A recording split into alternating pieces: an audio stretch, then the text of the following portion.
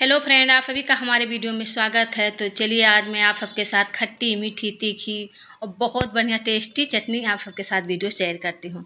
यह है इमली की चटनी। तो मैं बताती हूँ आप सबको कैसे बनाई हूँ। जैसे कि आज हमारा होली है। होली पे मैं बनाई हूँ दही बड़े के साथ खाने के लिए, पकौड़े के साथ, समोसे के साथ। आप लोगों का ईद चल रहा है, रोज़ा है तो आप लोग उसमें भी बना के खा सकते हैं। तो देख लीजिए, मैं रात भर के लिए इमली भिगो के रख दी थी ठंडे पानी में ही। अगर आपके पास समय नहीं है तो आप पंद्रह से बीस मिनट आधा घंटा के लिए गर्म पानी में, गुनगुना गर्म पानी में भिगो के रख दें। उसके बाद में इसका फारा पलब निकाल लें, जितना है उसका मतलब छान लें अच्छे से। और उसके बाद में देख सकते हैं आप लोग, हाथ से मैश करते रहें मतलब हाथ से मीजते रहें। उसके बाद में इसका फारा जो मतलब गुद्दा निकल जाएगा और इसका बीज ऊपर हो जाएगा। बिना बीज का भी इमली मिलता है, आप वो भी ला सकते हैं। और इसकी चटनी इतनी बढ़िया है, अगर आप अच्छे से तरीके से बनाते हैं तो आप पाँच से छः महीने के लिए भी स्टोर करके रख सकते हैं। जिस हिसाब से मैं बताऊँगी, अगर उस हिसाब से बना रहे हैं तो आप मतलब फ्रिज में करके इसे किसी साफ़ बोतल, सूखे बोतल में करके और इसे कांच के बर्तन में रख सकते हैं पाँच से छः महीने के लिए और आराम से खा सकते हैं। कभी भी आप इसे खाएँ, कोई दिक्कत नहीं होगी। और अगर आपको हफ़्ता दस दिन के लिए बनाना खाना है तो मैं वो भी आप सबको बताऊँगी कि कैसे बनाएँ और किस तरह से खाएँ। तो देख सकते हैं कि इसमें कितना सारा था जो निकाल रही हूँ मैं और इसके बीज जो है, एक दो बीज भी है तो उसे मैं ऊपर छानने पे निकल जा रहा है। तो आप लोग मेरी वीडियो कहाँ से देख रहे हैं? सबसे पहले मेरे वीडियो को लाइक कर दीजिए। अगर चैनल पे नए हैं तो सब्सक्राइब कर लीजिए। पूरा वीडियो ज़रूर देखिएगा। 200 ग्राम इमली था, जो मैंने रात भर के लिए भिगो के छोड़ दी थी। उसका सारा पल्प निकाल ली हूँ, देख सकते हैं आप लोग। उसके बाद मैंने एक कढ़ाई के अंदर डाल दी, एक चम्मच घी, उसके अंदर अजवाइन, जीरा, सौंफ और थोड़ी सी कलौंजी डाली हूँ। अगर आपके घर में है कलौंजी तो डालिए, नहीं तो कोई नहीं। इसमें है काजू किशमिश और बादाम, पिस्ता। ये चीज़ें नॉर्मली है, अगर आप लोगों को डालना है तो डालिए, नहीं तो कोई नहीं है। लेकिन इसे डालने से थोड़ा अच्छा लगता है, कलर भी बढ़िया आता है, खाने में भी बढ़िया लगता है, इमली। की खट्टी मीठी तीखी चटनी तो देख सकते हैं आप लोग, सारी चीज़ें डालने के बाद इसके अंदर पल्प डाल दी हूँ, जो इमली का मैंने निकाली थी।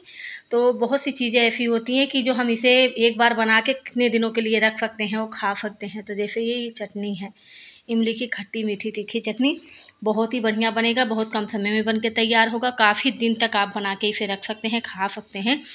जैसे कि आपको ये होता है कि हम बाहर से ले आए, कचौड़ी, समोसा, कुछ भी, उसके साथ की चटनी हमें नहीं पसंद आई तो इस चटनी से आप खाइए, बहुत टेस्टी लगेगा।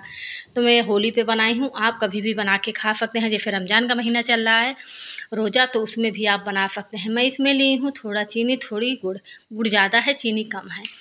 तो इसमें मैं जैसे कि दो सौ ग्राम मेरा वो था मतलब इमली, उसमें डाल दी हूँ मैं पाँच सौ ग्राम के आसपास चीनी और गुड़ दोनों मिला के मैंने डाला है। उसके बाद में इसमें डाल दी हूँ एक चम्मच लाल मिर्च तीखी इसे थोड़ा तीखा भी रहेगा और कलर भी अच्छा आएगा। इसमें हल्का नमक डाली हूँ, नमक कम करके डाली हूँ, थोड़ी सी काला नमक डाल दी हूँ और उसके बाद में इसे अच्छे से चलाती रहूँगी। तो मैंने कहा जैसे आप सबसे कि खट्टी मीठी तीखी इमली हो गई, खट्टी गुड़ हो गया, मीठा और उसके बाद में मिर्च हो गई, तीखी। तो खट्टी मीठी तीखी चटनी बहुत ही बढ़िया बनेगा तो देख सकते हैं आप लोग, मैं इसे चला रही हूँ, इसे अच्छी तरह से पकाना है। जितना अच्छा से ये पकेगा, उतनी बढ़िया ये चटनी बन तैयार होगा। थोड़ी सी हींग डाल दे रही हूँ इसमें। हींग आपके पसंद की बात है, आपको पसंद हो, डालिए, नहीं तो कोई बात नहीं है।